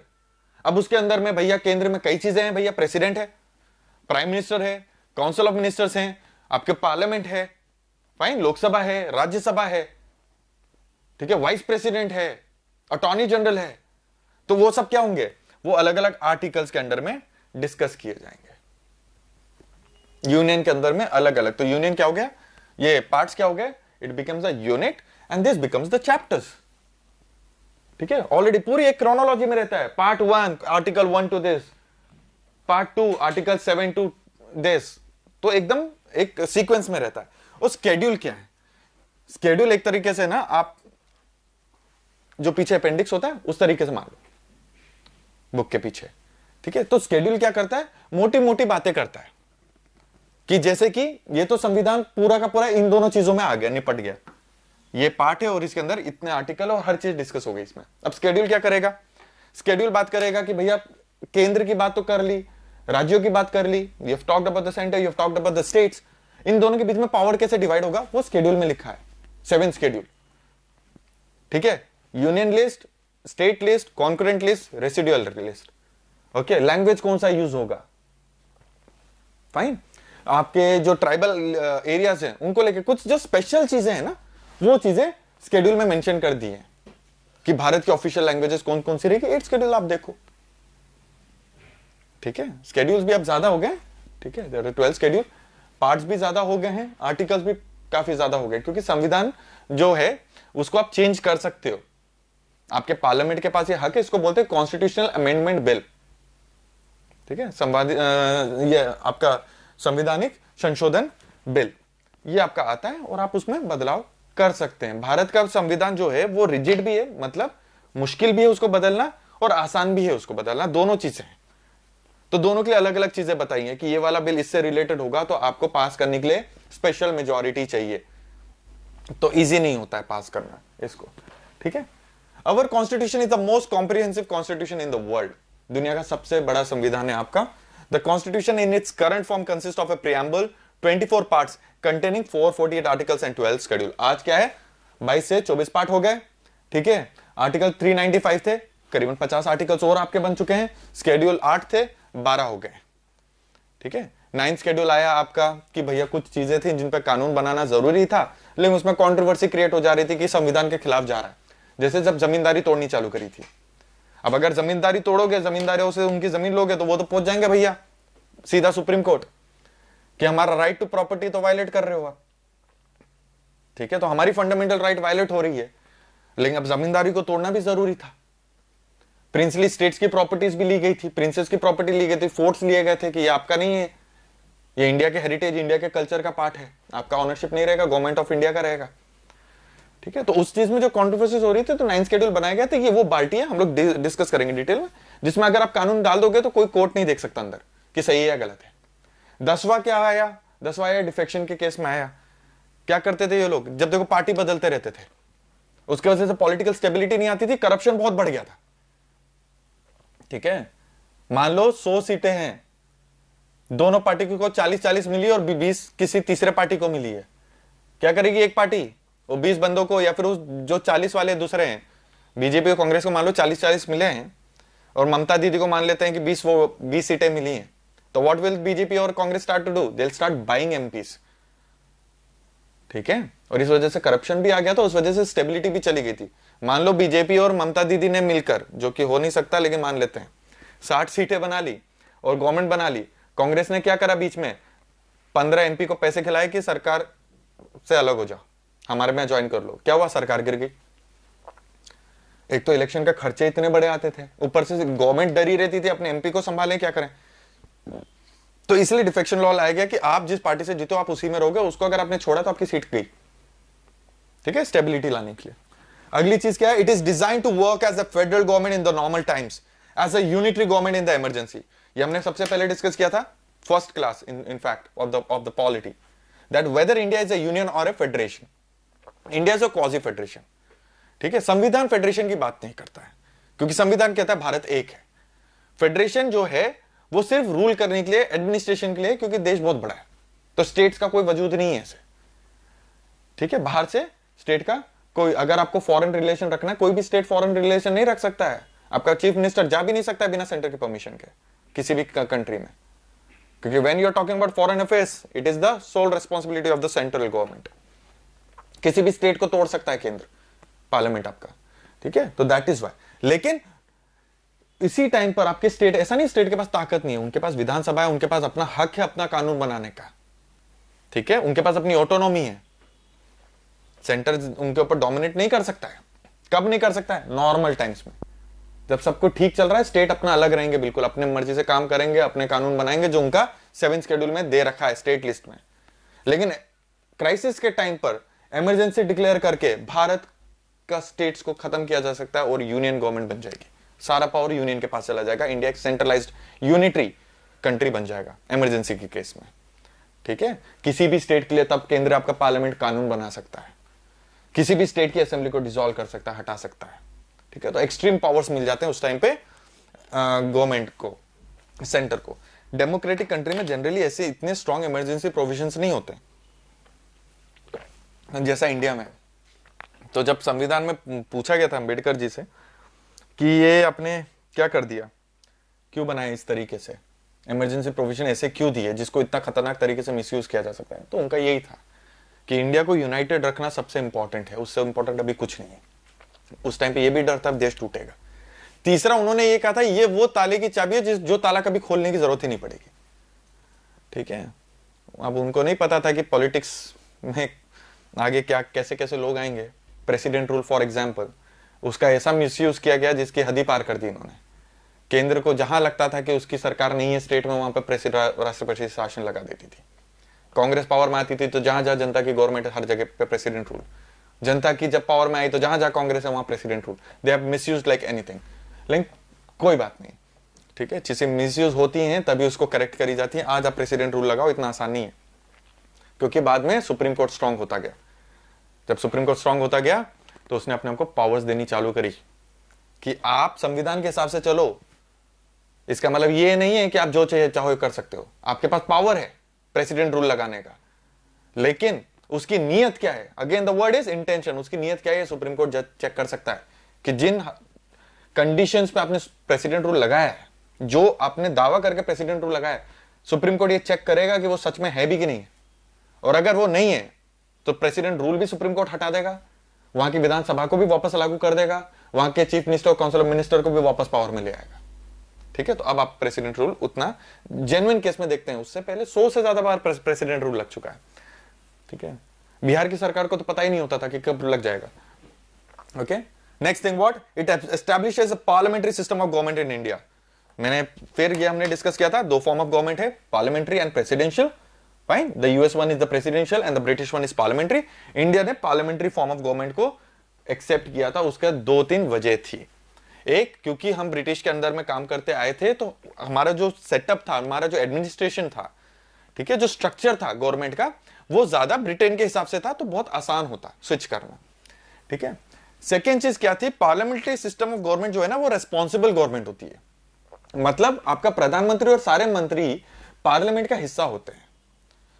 प्रेसिडेंशियल में ये नहीं होता है।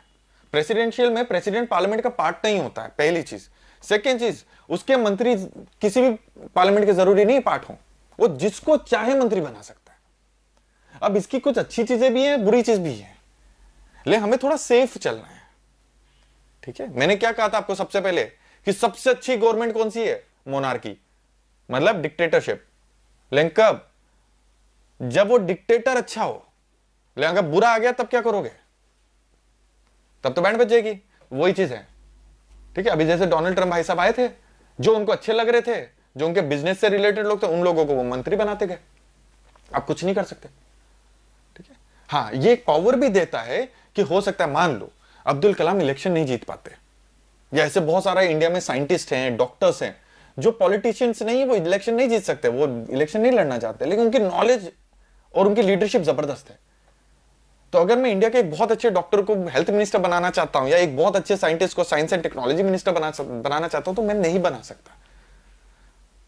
ठीक है? वहाँ का प्रेसिडेंट बना सकता है। यहाँ पर क्या है? आप बना दो। किसी को भी रोड से उठाकर आप बोल दो, भैया, ये मंत्री है। लेकिन छह महीने के अंदर वो लोकसभा या राज्यसभा का मेंबर ऑफ़ पार्लियामेंट होना चाहिए, वरना उसकी सीट गई। उसकी वो पोजीशन गई। फाइन सो पार्लियामेंट्री सिस्टम इसलिए इंडिया ने बनाया कि एक तो डेमोक्रेटिक ज़्यादा है माइनॉरिटी से लेकर हर कम्युनिटी को रिप्रेजेंटेशन मिल जाएगा। ठीक है? पार्लियामेंट बहुत स्ट्रॉन्ग कंट्रोल करती है गवर्नमेंट के ऊपर। ठीक है? तो एक स्टेबिलिटी इंडिया में बनी रहेगी। It introduce adult franchise adult franchise मतलब जो भी, जैसे पहले 21 था, अब आज 18 है। तो 18 से बड़ा जो भी है, उसको वोट करने के राइट्स रहेंगे। Fine okay so what we are going to do discuss now is India का जब संविधान बना था ना तो दुनिया के हर संविधान को पढ़ा गया था पहले। ये इंडिया के संविधान पे ये चार्ज भी लगता है कि इंडिया का संविधान बोरोड है। ठीक है? दूसरे से लिया हुआ है। खुद का कुछ नहीं है इसमें। सब कुछ दूसरे से लिया हुआ है। नहीं, ये बात ठीक नहीं है। देखो, समझदारी ये है। मान लो मुझे आज रॉकेट बनाना है मून पे भेजने के लिए। ठीक है? अब मैं अपना ईगो ले आऊँ कि भैया नहीं, मैं तो खुद के दम से सबसे पहले से पहले नट से लेकर पूरा रॉकेट मैं खुद बनाऊँगा। जबकि नासा ने कई मिशन भेज रखे हैं। उसके मिशन फेल होते थे स्टार्टिंग में। अपोलो 11 था ना, जो पहला गया था मून पे, नील एमस्ट्रॉन्ग को लेकर।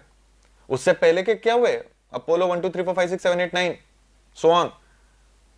They failed astronauts मरे भी हैं। लॉन्च पैड पे जल के भी मरे ठीक है? बहुत सारे इंसिडेंसेस हुए थे। इतना आसानी से सक्सेस नहीं मिलता है। अब अगर मैं समझदार हूँ तो मैं क्या करूँगा? मैं उनको स्टडी करूँगा कि इन्होंने अपोलो 11 कैसे भेजा है रॉकेट बनाया कैसे था। पूरा सीखूँगा उनका। उसके बाद देखूँगा इसमें कमियाँ क्या है और वो कमियों को मैं कैसे अलग कर सकता हूँ, मैं उस पर ऐड कैसे कर सकता हूँ। ठीक है? ज़्यादा सेफ़ कैसे बना सकता हूँ? मैं वजह जानूँगा कि अच्छा इसमें आग क्यों लगी थी, वो एस्ट्रोनॉट बाहर क्यों नहीं निकल पाए थे? ठीक है, इनका लॉकिंग सिस्टम चेंज करो। ठीक है, इनकी फायर सेफ्टी चीज़ें चेंज करो। तो ये चीज़ क्या है? अब ये स्मार्ट बंदा है। वो तो भैया पचास साल तक रॉकेट ही बनाता रहेगा। क्योंकि उसको पता ही नहीं है अभी। अब वो सीखेगा। ठीक है? वो तो अपोलो 11 था। ये अपोलो 40 तक भी हो सकता पहुँच जाए। ठीक है? और ये क्या करेगा? ये पहले मिशन पे सक्सेसफुली लॉन्च करेगा। क्योंकि वो दूसरों से सीख कर, जो चीज़ है अवेलेबल है।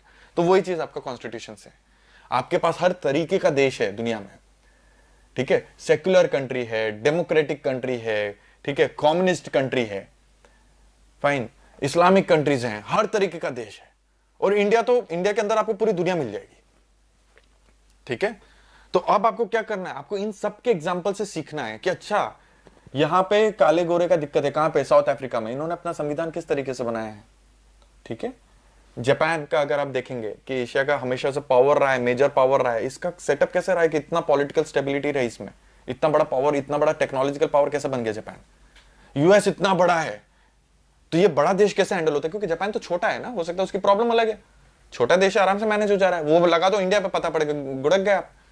क्यों? इंडिया काफ़ी बड़ा है। तो आपने हर संविधान दुनिया से आपने पढ़ा, हर एक बुक को पढ़ा गया।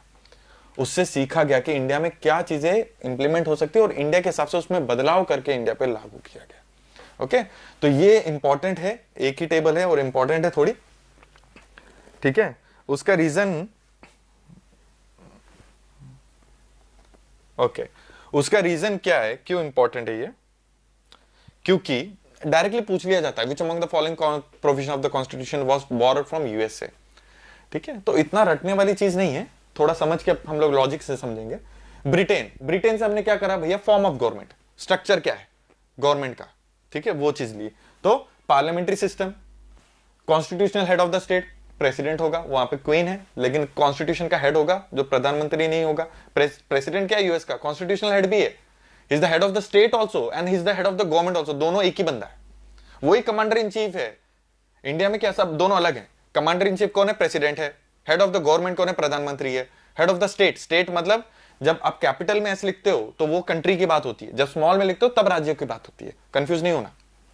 फाइन तो head of the state capital as head of the country कौन होगा? प्रेसिडेंट होगा।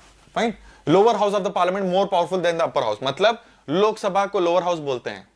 हाउस ऑफ़ द पीपल बोलते हैं। तो जो लोअर हाउस है that is more powerful than the Rajya Sabha से ज़्यादा ताकतवर। लोकसभा दोनों की बराबर ताकत नहीं है। ठीक है? Responsibility of the council of minister toward the parliament क्योंकि वो पार्लियामेंट्री सिस्टम है।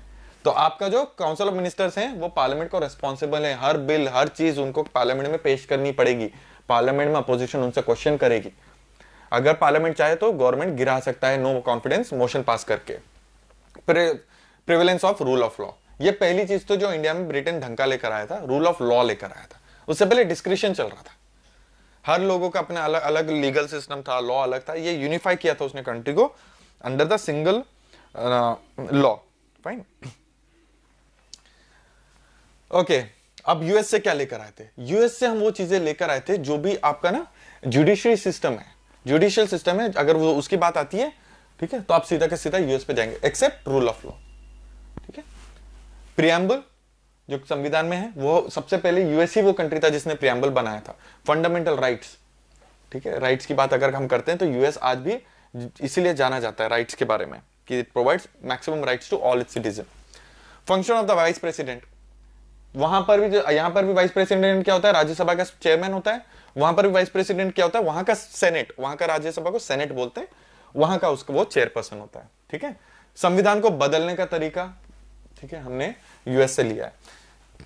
Nature and function of the supreme court ठीक है?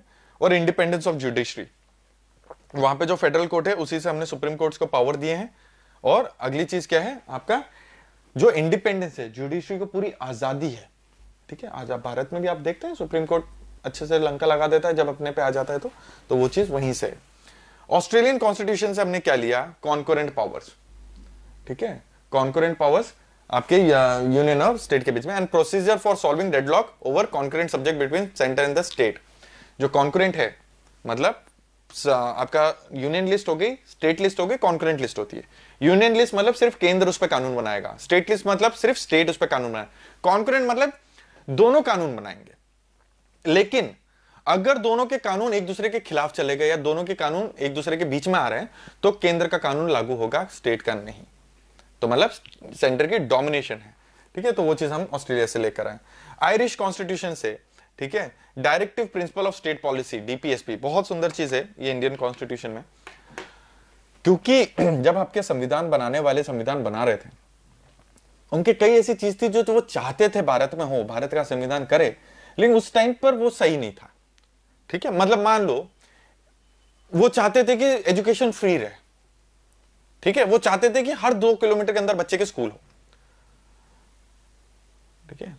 तो वो चाहते थे यूनिवर्सल एजुकेशन रहे। लेकिन प्रॉब्लम क्या थी? उतने स्कूल नहीं थे। उतने टीचर्स भी नहीं थे। उतना पैसा भी नहीं था सरकार के पास कि एजुकेशन ऑफ़ फॉर ऑल कर पाए। वो इंप्लीमेंट नहीं कर पाएगा क्योंकि एजुकेशन को फिर बहुत बड़ा बजट चाहिए और इंडिया उतना अमीर नहीं था। तो ऐसी कई चीज़ें थी जो कि अभी लागू नहीं कर सकते हैं। ठीक है? लेकिन डायरेक्टिव प्रिंसिपल का क्या मतलब है? कि आपका जो पार्लियामेंट है, आपकी जो सरकार है, वो हमेशा इसके तरफ़ बढ़ने की कोशिश करेगी, इसको अटेन करने की कोशिश करेगी। फंडामेंटल राइट क्या हो गया? वो तो आपको करना ही है। अगर उस टाइम पर right to education fundamental right बना देते तो हर बच्चा जाके केस ठोक देता कि मैं तो पढ़ना चाहता हूँ, मेरा फंडामेंटल राइट स्कूल नहीं। गवर्नमेंट उस टाइम पे, क्योंकि आपको पूरा कंट्री बनाना था, ठीक है? तो that is that could not have been done आज देखो, जब इंडिया की कैपेबिलिटीज हो गई तो राइट टू एजुकेशन को आपने बना दिया। पहले क्या था? वही डायरेक्टिव प्रिंसिपल था। अब उसी को उठा के आपने क्या कर दिया? फंडामेंटल राइट बना दिया। Fine method of nomination of member to the Rajya Sabha president आपके राज्यसभा में मेंबर्स को 12 मेंबर्स को नॉमिनेट कर सकते हैं। ठीक है? जो स्पोर्ट्स से आर्ट एंड कल्चर से पहले स्पोर्ट्स नहीं था, लेकिन सचिन तेंदुलकर को जब बनाया गया तो उसके बाद कंट्रोवर्सी क्रिएट हो गई थी कि उनको बना भी सकते हैं कि नहीं। तो कुछ बदलाव किया गया इसमें।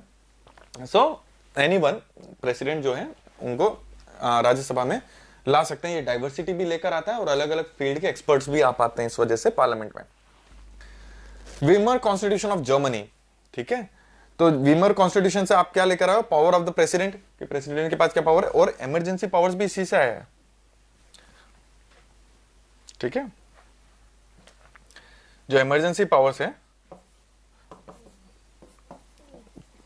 सिंपल याद रखो जर्मनी जर्मनी मतलब हिटलर हिटलर मतलब इमरजेंसी ठीक है? फिर आप कैनेडियन कैनेडियन कॉन्स्टिट्यूशन से क्या लेकर आए? यूएसए और कनाडा दोनों नेबर्स हैं। ऊपर नीचे, दोनों बहुत बड़े कंट्रीज़ हैं वर्ल्ड के, सबसे बड़े कंट्रीज़ ऑफ़ वर्ल्ड के। दोनों फेडरल है, दोनों में स्टेट्स हैं, लेकिन दोनों में अंतर क्या है? जहाँ पर यूएसए में स्टेट ज़्यादा पावरफुल है सेंटर से कनाडा में सेंटर ज़्यादा पावरफुल है स्टेट से। तो इंडिया सेंटर पहले 1935 में हमने देखा था फेडरल स्ट्रक्चर बनाने की कोशिश कर रहा था। लेकिन 47 में इंडिया ने बोला नहीं फेडरल बनाएँगे, लेकिन सेंटर को स्ट्रांग रखना है। तो इंडिया यूएस मॉडल से कनाडा मॉडल पे चला गया। कि हम बनाएँगे फेडरेशन लेकिन पावर स्टेट्स के सेंटर के पास ज़्यादा रहेगी। तो कैनेडियन से क्या देखा? Provision of a strong nation ठीक है? Name of the union of India vesting residual power with the centre okay and procedure for amendment with two third majority in the parliament तो मेनली इसमें क्या था? कि ये लेकर आए कि जो स्ट्रेंथ है आपकी वो सेंटर uh, के पास ज़्यादा रहेगी। And the South African constitution fine the procedure आपका जो प्रोसीजर है ये साउथ अफ्रीकन पार्लियामेंट आप लेकर आए कि कॉन्स्टिट्यूशन बदलना इतना आसान ना रहे कि कोई भी बदल पाए। ठीक है? और राज्यसभा में इलेक्शन कैसे होंगे? डायरेक्ट इलेक्शन होते नहीं आप राज्यसभा के लिए वोट नहीं करते हो। ठीक है?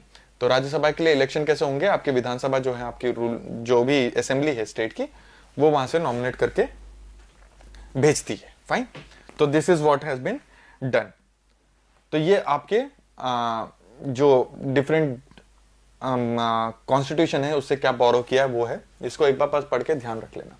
Next the preamble okay this is important इसमें कुछ वर्ड्स है जो आपको याद रख रहे हैं, ठीक है? जैसे आपका सोशलिस्ट हो गया, ठीक है?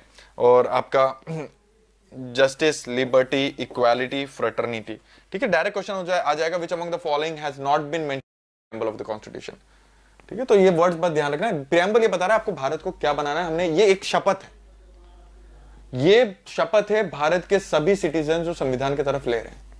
okay we the people of india having solemnly resolved to constitute india into a sovereign socialist secular democratic republic and to secure to all its citizens justice social economic and political liberty of thoughts expression belief faith and worship equality of status and opportunity and to promote among them all fraternity का मतलब क्या होता है भाईचारा assuring the dignity of individual and the unity and integrity of the nation in our constituent assembly this 26th day of november why 26th day of november 1949 क्योंकि इस दिन ये संविधान बन गया था।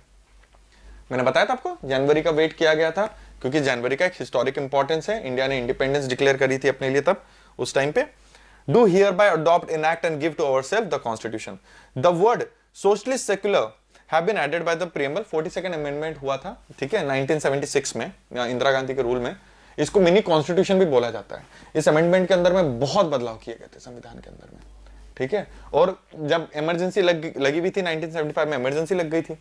जब इमरजेंसी हटी और जब जनता पावर में पार्टी पावर में आई तो फोर्टी अमेंडमेंट लाई वो। और इसमें से कई चीज़ों को उन्होंने फिर हटाया भी। ठीक है? तो ये इंपॉर्टेंट है फोर्टी सेकेंड तो इस फोर्टी सेकेंड अमेंडमेंट अमेंडमेंट मतलब बदलाव से सोशलिस्ट और सेक्युलर वर्ड ये दोनों लाए। अब इसका मतलब क्या है? संविधान का पार्ट है। तो मतलब इंडिया हमेशा सेक्युलर ही रहेगा। आप इंडिया को कभी भी नॉन सेक्युलर बना भी नहीं सकते। आप चाहो तब भी नहीं बना सकते। क्योंकि सुप्रीम कोर्ट कोई भी ऐसा कानून अगर आप लेकर आओगे जो सेक्युलरिज्म के अगेंस्ट जाएगा, सुप्रीम कोर्ट बाय डिफ़ॉल्ट उसको वॉइड कर देगा कि वो संविधान के अगेंस्ट जा रहा है। ठीक है? संविधान के खिलाफ जा रहा है और जो लॉ है वो संविधान के हिसाब से चलता है। फाइन ओके अब हम लोग, ये इंपॉर्टेंट उतना नहीं है, लेकिन थोड़ा सा कुछ पार्ट्स हैं इसके इंपॉर्टेंट है। जैसे हमने डिस्कस किया था कि 22 पार्ट्स हैं। ओके तो 22 पार्ट्स हम लोग फटाफट एक बार देख लेते हैं कि क्या क्या चीज़ें इसमें हैं जो थोड़ी सी इंपॉर्टेंट है, ठीक है? जो पार्ट वन है, ठीक है, वो बताता है इंडिया का इंडिया में कौन कौन से स्टेट्स आते हैं कौन कौन सी यूनिटरी यूनियन टेरिटरी आती है तो इंडिया का एक डेफिनेशन दे देता है कि भैया इतना इंडिया के अंदर कोई भी स्टेट आएगा तो पार्ट वन में उसको मेंशन आपको करना पड़ेगा, ठीक है? पार्ट टू सिटीजनशिप के बारे में बात करता है okay that is not so part three is very important तो सबसे पहले आपको पार्ट थ्री इंपॉर्टेंट है। Part four directive principle of the state policy जो हम डिस्कस कर चुके हैं। पार्ट फोर ए, ये भी इंपॉर्टेंट है। ये क्या फंडामेंटल ड्यूटीज़ है? ये भी आपके फोर्टी सेकेंड अमेंडमेंट के साथ, के टाइम पे ही, उसी, इंदिरा गांधी के गवर्नमेंट में ही, उसी टाइम पे, उससे पहले ही आया था। ठीक है? फंडामेंटल ड्यूटीज़ एक्चुअल में कम्युनिस्ट कंट्री में होती है। डेमोक्रेटिक कंट्री में सिर्फ़ फंडामेंटल राइट्स होते हैं मतलब आपके हक।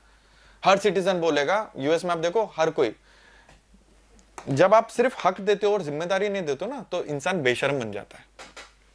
अब यूएस में देखो, वहाँ पे सबसे ज़्यादा डेथ हुई है कोविड से। सबसे ज़्यादा केसेस कोविड से हुए हैं। आज भी नहीं संभल पा रहे हैं। लेकिन वहाँ के लोग मास्क नहीं पहन रहे क्यों? क्योंकि मेरी मेरी मर्ज़ी, मेरी आज़ादी। ठीक है? तो इस हद तक भी नहीं। आपको देना है कि आप कुछ भी करो या कुछ कुछ भी डिमांड करो। ठीक है? तो क्या अगर आपके पास हक है तो आपके पास ज़िम्मेदारी भी होनी चाहिए इस कॉन्सेप्ट के साथ, ठीक है? आपकी गवर्नमेंट फंडामेंटल ड्यूटीज़ लेकर आई थी कि आपके सिटीजन की ये ड्यूटीज़ भी रहेंगी। ये लीगल नहीं है। मतलब आप इसको फॉलो नहीं करोगे तो ऐसा नहीं आपको पनिश कर देंगे।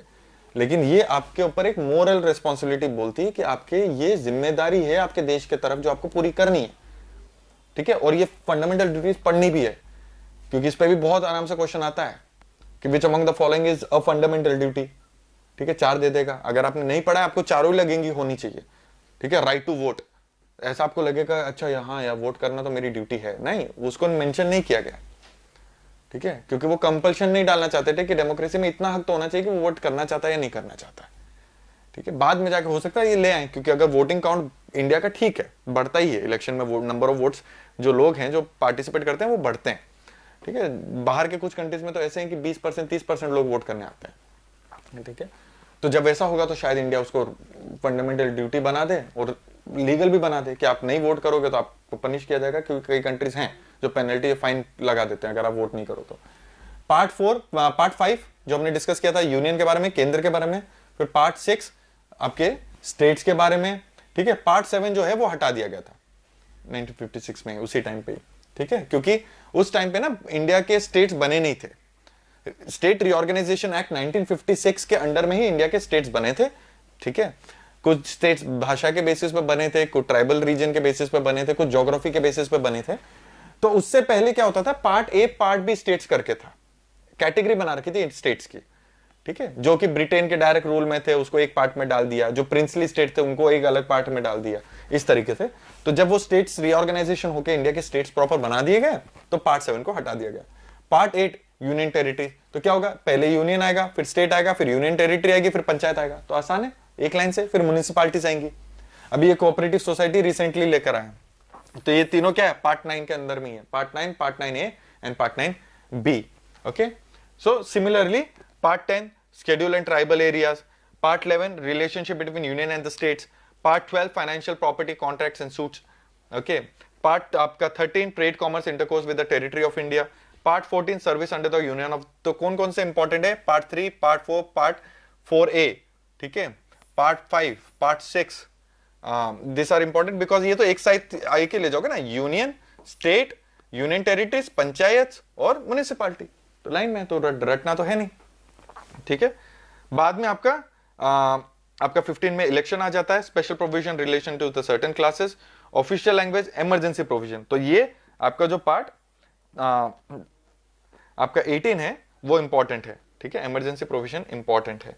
उसके बाद ऐसा कुछ भी इंपॉर्टेंट नहीं है। तो बस आपको ये तीन चार आपको ध्यान में रखने हैं कि यूनियन कौन सा पार्ट के अंदर में आता है इमरजेंसी प्रोविज़न किस पार्ट के अंदर में आता है, ठीक है? फंडामेंटल राइट्स किसमें आते हैं? पार्ट थ्री फंडामेंटल राइट के बाद डायरेक्टिव प्रिंसिपल डायरेक्टिव प्रिंसिपल के बाद ड्यूटीज़ ठीक है? तो ये एक क्रोनोलॉजी है।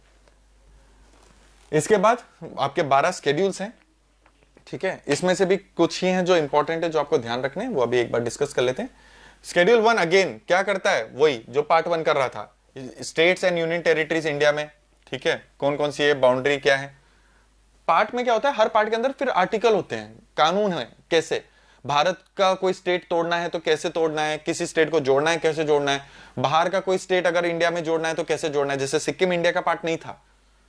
1975 1975 तक सिक्किम भारत का पार्ट नहीं था, एक अलग कंट्री था, ठीक है? तो वो इंडिया का पार्ट बना। तो किन वो क्या करे सब कुछ संविधान में लिखा हुआ है, ठीक है? कि कैसे करना है? अगर भारत किसी टेरिटरी पे कब्जा करता है तो उसको कैसे आप इंक्लूड करोगे? हर चीज़ के बारे में।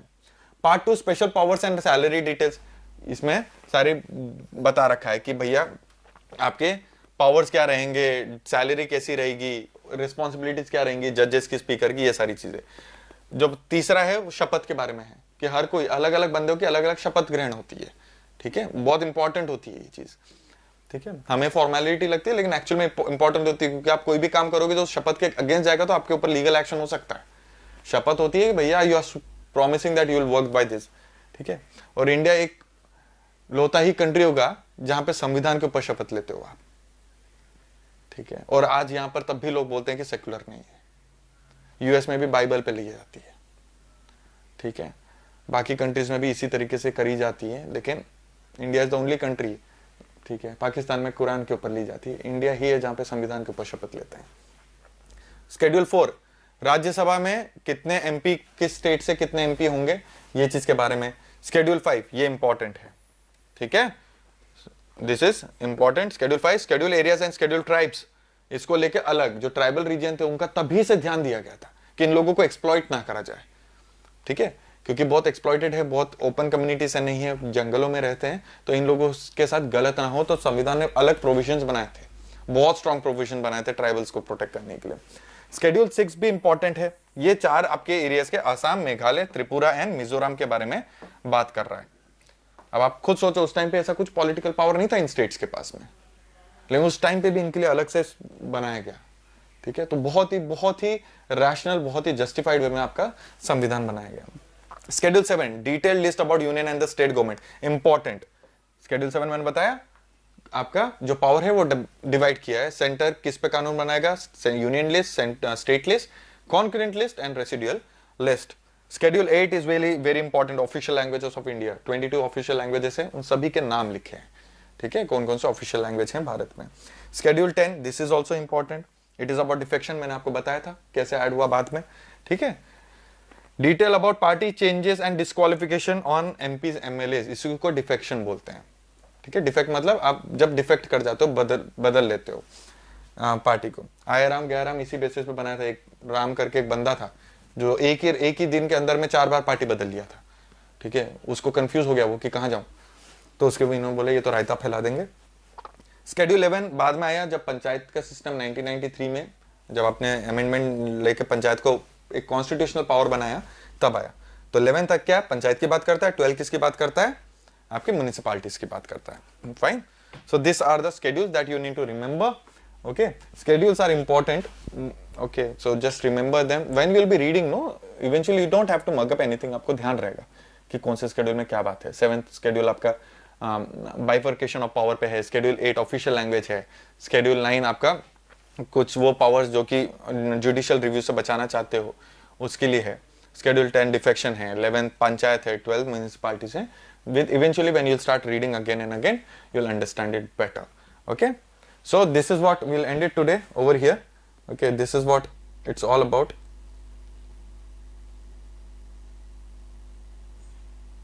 okay, this is what is important about the broad structure of the constitution. इसके बाद हम थोड़ा कॉन्स्टिट्यूशन के डिटेल में घुसना चालू करेंगे। ठीक है? और अब एक और एक चीज़ ध्यान रखना पॉलिटी से क्वेश्चन एक तो ज़्यादा भी आने लग गए हैं और कॉम्प्लिकेटेड क्वेश्चन आने लग गए पहले बहुत सिंपल आते थे, जो आप एक्सपेक्ट करते थे कि बारहवीं का बच्चा जिसने पॉलिटी कभी पढ़ी नहीं है तो उसको सिंपल चीज़ें पूछ लेते थे। अब क्योंकि बच्चे के पास सोर्स ऑफ़ नॉलेज काफ़ी है इंटरनेट सोर्स बन गया है, बच्चे बहुत कॉम्पिटिटिव हो गए हैं एम्बिशियस हो गए हैं। ठीक है? तो अब वो आसान क्वेश्चन नहीं पूछ पा रहे हैं। क्योंकि वो मैक्सिमम बच्चों का आता है। क्वेश्चन का लिमिट इससे देखा जाता है कि ये क्वेश्चन कितने बच्चे आंसर कर पाते हैं। अगर सभी क्वेश्चन सभी बच्चे 80 परसेंट नाइन्टी परसेंट उसको आंसर कर पा रहे हैं तो वो क्वेश्चन नहीं पूछे जाएँगे।